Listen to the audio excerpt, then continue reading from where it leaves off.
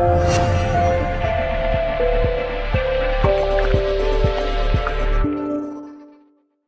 guys, in this video we're going to talk about how to set up a competition in real life using Gleam.io. Gleam.io is a competition platform that is not very popular but probably has the best features according to me. I've been trying a bunch of them like Contest Domination and KingSumo etc and I keep going back to Gleam.io because uh, it has a bunch of cool little things that improve your conversion rate, that get people to take more actions for your contest and all these things. Now Gleam has a free version and if you wanted to just run a pure social media contest you can actually use that free version. It's gonna work perfectly. However if you want to collect emails if you want to get leads and eventually make sales behind I highly suggest you use the pro version. Now you don't have to keep that pro version subscription up all the time actually at the time at which I'm recording that video the pro version is deactivated so I'm going to do a demonstration with the free version and the reason why is because as I said in the theory video running competitions all the time is not necessarily a very good idea because it, you get this audience fatigue and so on. So what I'm going to do is I'm going to log into my account and we're going to look right inside what's going on inside Gleam. So let's just log in and see what happens. So that's my Gleam dashboard and you can see they have a bunch of templates for competition but in that case we're going to create a new one and I'm going to pretend that I'm creating a competition giving away one copy of this course.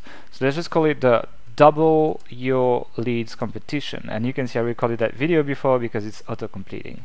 Um, so I can start a start date and I can start an end uh, choose an end date sorry and I'm going to select a start date that's in the past and the reason for that is so that I can show you the active widget and what it looks like. Um, so I picked the 1st of February until the 1st of March so that's a one month competition. It's a little bit long it depends on how much promotion you have stacked up. Uh, you can put your terms of condition you can uh, send a confirmation email or not so when people enter the competition they get an email saying hey you just entered the competition this is the actions you took etc etc uh, I'm not a very big fan of sending that people they're not very interested in that usually uh, you can use that fraud filter that fraud filter is very good so for example if someone's trying to win your competition at all costs what they're going to do is they're going to try to enter several emails and several Facebook accounts and all these things. And as a result, you're going to get a bunch of duplicate entries that are not valuable to your business. And you're actually going to give more chances to these people to win your contest. Not a good idea. The fraud filter uh, does things such as finding what the IP of the people are, etc. So that if he thinks that there are duplicates or people trying to fraud the system, he's going to discard the entries automatically. And I've had a bunch of these in the last competition I ran for Authority Hacker. So you can basically set up all these things, including uh, what you want people to log in with. I like to just pick email, Facebook, and Twitter because these are the most popular. And you can ask people if they want to like your Facebook page. Now, Facebook forbids what they call like gating. And like gating is asking people to like your page in exchange for getting something such as an entry in a competition. So if you were to make it a, an entry formula for your giveaway, you would actually be against Facebook terms of service. They could have the right to terminate your fan page and all these things that could be a little bit problematic for your business. So what Gleam did is it actually prompts people to like your page, but they don't have to. It's just an optional step. So what we're going to do is we're going to grab the Facebook URL of Authority Hacker and let me just grab it in the notes and just paste it. And that's basically uh, going to say, hey, do you want to like our page as well? And some people will click like. I got a couple hundred likes last time I ran a uh, competition, despite the fact that it's not mandatory. Maybe some people believe it's mandatory, I guess. Um, you can choose a minimum age, so if you were giving away something such as alcohol or you know sex related stuff or whatever industry you're in you probably want to use that and that's pretty cool because that allows you to give stuff away that you cannot sell to uh, people under 18 for example you can also uh, choose location and language that's a, an upgrade option but you can do that so you can if you don't if you want your contest to only run in a certain country because you're only you know working in France or in Norway or whatever country you are you can actually limit uh, the entry for people that are in Norway. So if people are not in Norway, they can't just join in and spoil your competition. So that's a pretty cool thing. The second thing you need to do is go in the how to enter section and decide how people can get entries, an entry being a chance to win.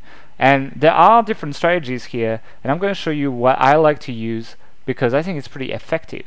Um, so let's just pick a bunch of them, such as like Facebook, you can ask people to visit your page on Facebook, you can't ask them to like it, because that's against Facebook terms of service, and that would be worth one entry. Then maybe follow us on Twitter, that's not against uh, Twitter's terms of service.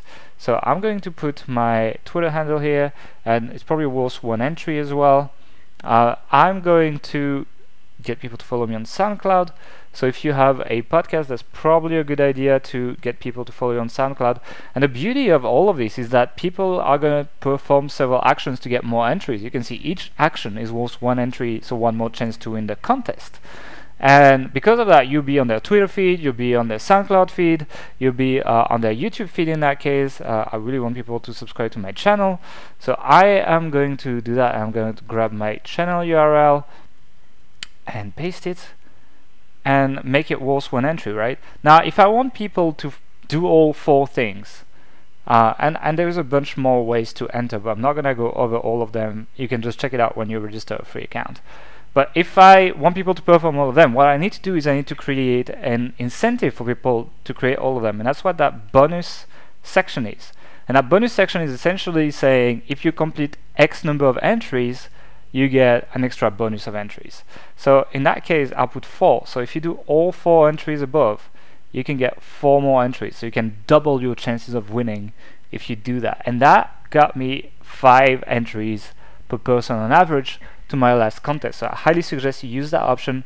It's really quite good. Uh, don't make it daily entry and then that's it uh, basically based on what you want people to do so if you want them to upload a picture to subscribe to your newsletter uh, subscribing to your newsletter is a pro option so you can't do it with a free account but uh, you can do that and you can basically select all the entries and give a basically double the points of the people that do all these things and that will really get people to follow you everywhere now the last thing we need to do is we need to select the price we need to tell people hey this is what you're gonna win uh, or you have a chance to win if you enter that competition. So in that case, I'll call it one double your leads license lifetime.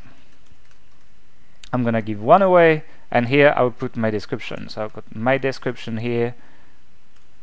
And once you have the pro account, you can also upload a video and image, which is a pretty cool way to draw attention to your contest. But in that case, I'm on a free account, as I said, because I'm not running a competition right now. So I'm just going to save it and put it on a WordPress site and show you what it looks like. So once you save your competition, all these settings are going to be uh, computed and into a nice little widget you can embed on your website or put on your Facebook page and all sorts of places to where you can drive traffic and get people to complete all these actions you want them to complete. So that's what happens when you save it. They give you a little piece of code which is a piece of JavaScript and if you have a WordPress site or any website you can just take that piece of JavaScript, put it in the HTML editor, you can see I selected text here, not visual, otherwise it wouldn't work. And then I can just preview it and let's just see what my widget looks like right now.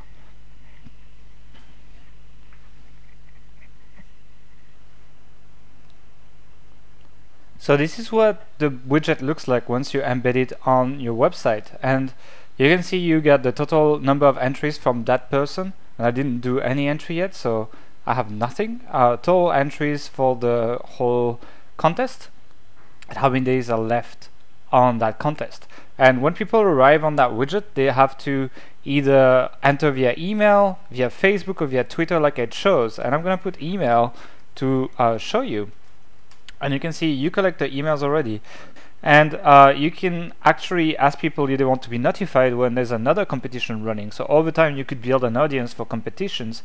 And you can see my like button is here. So the, the I told you that you cannot force people to like your Facebook page but you can make it optional. You can see that people can like you for Facebook updates but it's an optional thing. They can still continue without liking and that's quite cool because you get a bunch of fans without breaking the terms of service of Facebook. And once I logged in, I get the options that are offered to me to get more entries. So there's five ways to enter. I have zero entries now, but if I visit the page on Facebook, then I click on this and it says, oh, view authority hackers page on Facebook. Cool. And then when you click, you go through and you know you can like the page but you don't have to so we're not breaking the terms of service of Facebook at the same time if I go back to my contest and I click continue uh, you will see that I'm getting one entry. And you see I have one entry because I clicked on that link. Then you can do the same for following on Twitter. And you know you click and you get the proper Twitter button. Same for SoundCloud. Uh, and that will just open a new thing. You can follow on YouTube as well. And you can see like you can just subscribe directly on the widget. And when people have done all of these they can actually get a bonus entry which doubles their chances of winning. So that's what it looks like from the user's perspective. Now if we go back to the widget then you will see that if we go in reporting we should start seeing an entry. So that's my entry. There's one person that visited the Facebook page which is me.